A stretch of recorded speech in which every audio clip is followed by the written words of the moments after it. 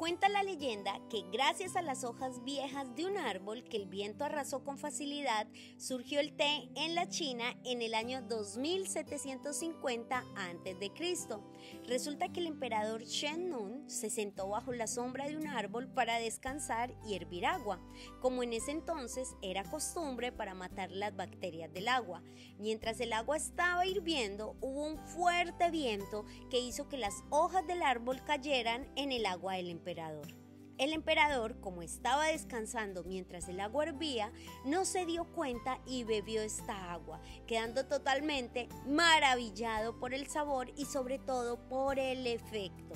Nada más con beberla, sintió como su sed se redujo, como su mente se tranquilizó y no entendía el por qué desaparecían todas sus preocupaciones de la cabeza.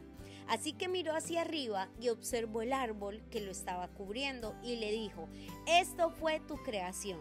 Se llevó semillas del árbol silvestre y continuó realizando más pruebas hasta que descubrió que aquellos efectos no habían sido resultado del azar, sino que eran propiedades medicinales de las hojas del árbol del té y animó a todos los del pueblo chino a que lo tomaran y convirtieran el té en su bebida más popular incluso hasta en la actualidad. A mí me encanta esta historia por varios motivos. Uno, porque soy amante de los tés. Y dos, porque las hojas del árbol que generaron este descubrimiento, según la leyenda, las llamaron hojas viejas, ya que estaban listas para caer al suelo.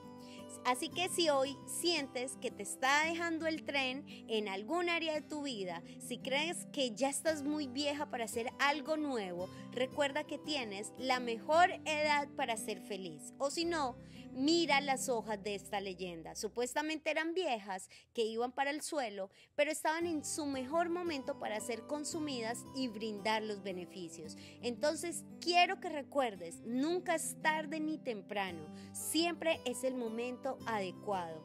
Y también nos enseña la importancia de estar presentes en el aquí y el ahora. Donde el emperador estuviera deprisa y no hubiera saboreado esta bebida, a lo mejor no podríamos estar disfrutando hoy por hoy de las propiedades del té. Entonces, que hoy sea un día para tener conciencia plena en todo lo que hagas. Asegúrate de vivir tu vida y no verla simplemente como una espectadora, que por no estar en el aquí y el ahora desaprovecha oportunidades que hay veces solo pasan una vez.